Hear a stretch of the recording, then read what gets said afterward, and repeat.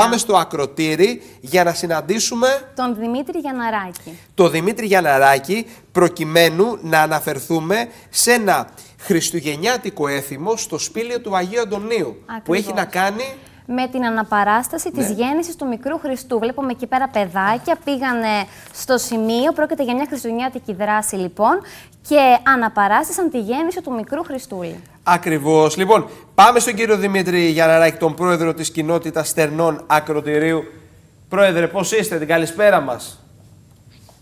Καλησπέρα, χρόνια πολλά σε όλους. Τι Σας κάνετε, ευχαριστώ πώς για την είστε, πρόσκληση στην εκπομπή σας. πόσο όμορφες Καλά εικόνες είμαστε εσείς. Μας, α, μας στείλατε και τις μεταφέραμε. Ένα έθιμο πλέον, το οποίο Ναι. τηρείται, υλοποιείται πιστά κάθε χρόνο. Είναι ένα έθιμο που ξεκίνησε περίπου πριν 30 χρόνια.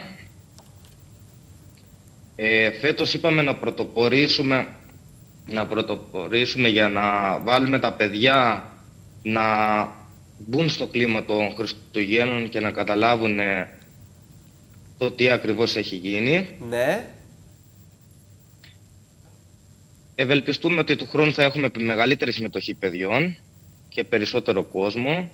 Καθώς τα δύο τελευταία, τρία τελευταία χρόνια λόγω του κορονοϊού είχαμε Εντάξει, σταματήσει. υπήρχαν κάποιες δυσκολίες. Και δεν- Πόσο σας πήρε χρονικά για να προχωρήσετε σε αυτή την ε, προετοιμασία της αναπαράστασης; Μας πήρε περίπου 10 μέρες. 10 μέρες εργασίας, ε, να βάψουμε, να στήσουμε. Βοήθησε ο Πολιτιστικός Σύλλογος πολύ και όχι μόνο.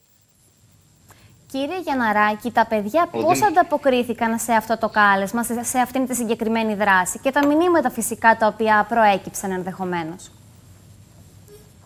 Πραγματικά ήταν κάτι που με εντυπωσίασε και εμένα ιδιαίτερα ότι τα παιδιά δείξαν πολύ μεγάλη σοβαρότητα στο όλο θέμα, στο όλο σκηνικό. Ε, και γι' αυτό θα ήθελα να ευχαριστήσω και την κυρία Αρχοντάκη Μαρία που ασχολείται και κάνει δράσεις στο χωριό για τα παιδιά και αυτή δι- ουσιαστικά τα προετοίμασε για όλο αυτό.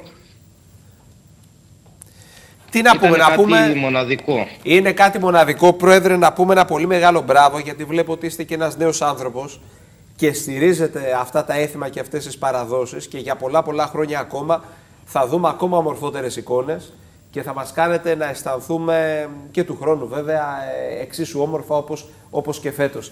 Ε, ένα πολύ μεγάλο μπράβο τους χαιρετισμούς μας. Ευχαριστώ. Τους Γεια χαιρετισμούς σας. μας.